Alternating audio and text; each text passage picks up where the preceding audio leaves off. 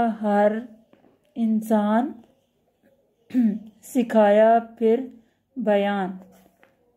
दरिया, समंदर और बियाबान और ऊँचे पहाड़, आलीशान। बिछाई, उसी ने ज़मीन उठाया, ऊँचा आसमान। हों खूबियाँ क्या क्या बयान वो है मेरा खुदा मेहरबान। बच्चों, ये आपने इसकी पढ़ाई करनी है हमद की, और इधर देखिए कि इसके साथ अल्फाज मानी हैं, यानी कि जो मुश्किल अल्फाज आपने हमद में पढ़े हैं।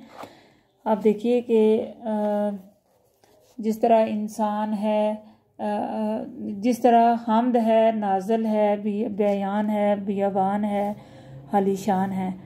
पहले मैंने आपको बताया कि हमद अल्लाह की तारीफ़, यानी कि अल्लाह की तारीफ़ को हमद कहते हैं। नाजल, भेजना, उतारना, बयान तस्करा बात, यानी कि बोलना, चालना बोल चाल बियाबान, ऐसी जगह जहाँ दूर दूर तक कुछ ना हो, यानी कि सहरा, आली शान, ऊँची शान वाले आपने अपनी जो कॉपी है, नोटबुक है, उसके ऊपर आपने ये इस तरह आपने लिखना है। उन्नीस अप्रैल सन दो हज़ार इक्कीस, ये आपने तारीख लिखनी है, जमात का काम लिखना है और दिन लिखना है पीर। और फिर उसके नीचे आपने उनवान लिखना है हमद। उनवान हमद लिखने के बाद आप लिखेंगे अल्फाज मानी। एक, दो, तीन, चार, पाँच, ये पाँच अल्फाज हैं, इनके आपने मानी लिखने हैं। ये भी आपकी बुक के ऊपर लिखे हुए हैं। यहाँ से ही देख के आपने अपनी नोटबुक के ऊपर इसको उतारना है, यानी कि लिखना है। उसके बाद बच्चों ये देखें कि पहले दो सवाल हैं।